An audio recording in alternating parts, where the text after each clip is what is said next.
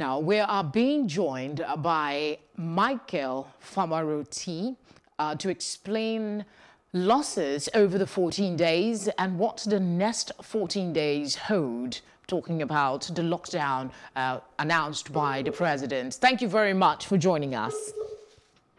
Pleasure to be here this morning. Thank you.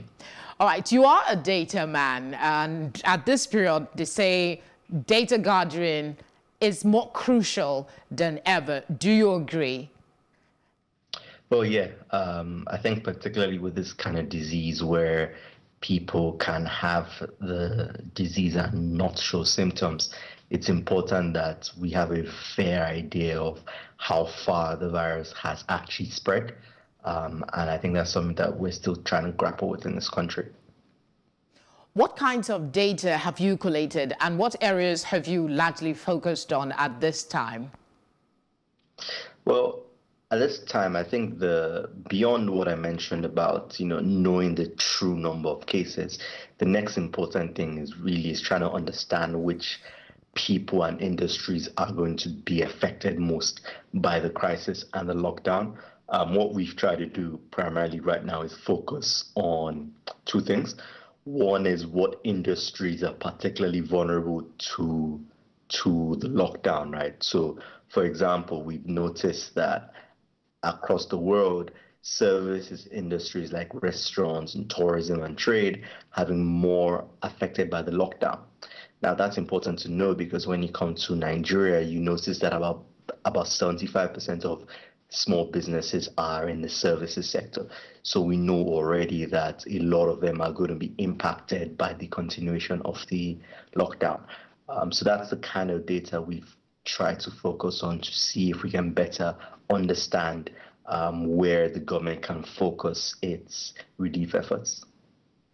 All right, what patterns have emerged during your analysis? Well, so like I said, um, one thing that's come up is that services sectors are more impacted.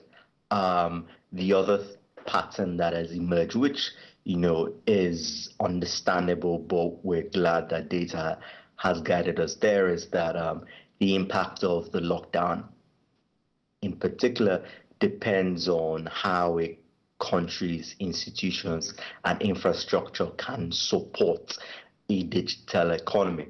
Um, so, for example, in Nigeria, only about 5% of people have used the internet to pay any bill in the last one year, according to data from the World Bank. Now, what this means is that, you know, if this lockdown continues for a prolonged period, we're likely to see a disruption in important services, right? Because people are, are used to making face to face transactions to keep their livelihoods and economies going. Um, so those are the type of trends that are worrying. Um, and again, I do think that we've so far not really answered the question of how to adapt the lockdown to our local environment, given um, how physical our own economy is compared to the West.